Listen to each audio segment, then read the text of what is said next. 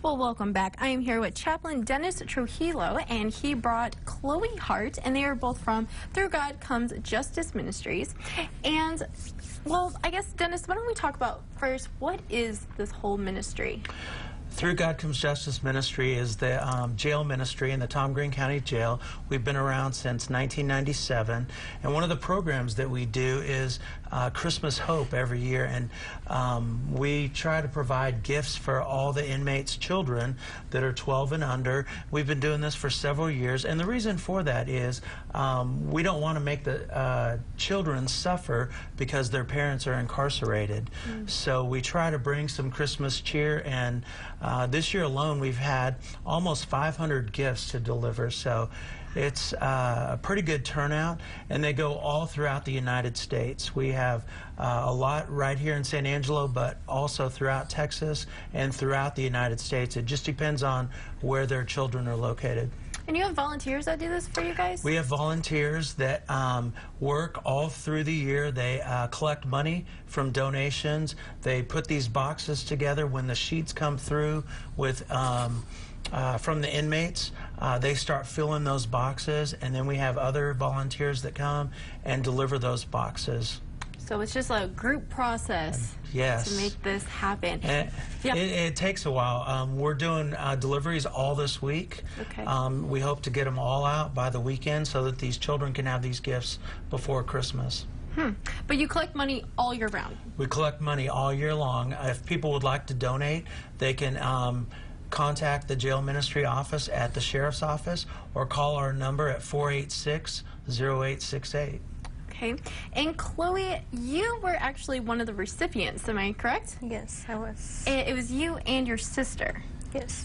Okay. Well, Chloe, tell me a little bit how it was when you first got your gift. Mm-hmm. I it made me feel special because it made me realize that she that someone does care about me and it was just it was a nice feeling to get a present from them. What did you get, if you don't mind me asking? I got a blanket and um, I think I got some clothes. Or yes. Nice. Mm -hmm. And what did your sister get?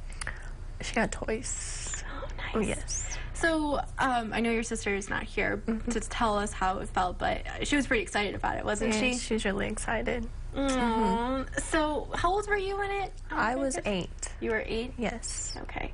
Well, and like you said, it was anyone under 12. That's right. Okay. And how many kids do you guys reach in total, you think? Um, nearly 500 uh, gifts go out. We put some in the mail. We hand deliver everything that's local.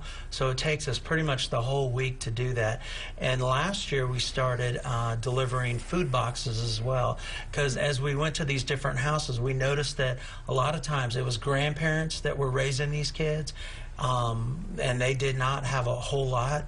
So we thought if we could give them a box of food to help uh, with the Thanksgiving meal or, you know, the rest of the week while the kids are off uh, school, uh, we would be able to do that as well.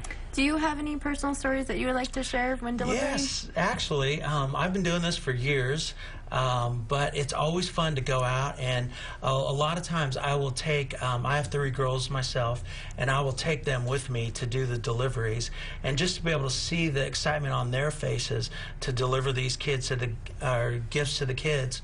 Um, one one year, uh, I took probably eight boxes to this one house, and this uh, grandmother came to the door, and all the kids were running around, and um, before I left, the kids said, "Wait, I have something for you." So um, I waited there on the porch, and they ran around to the back.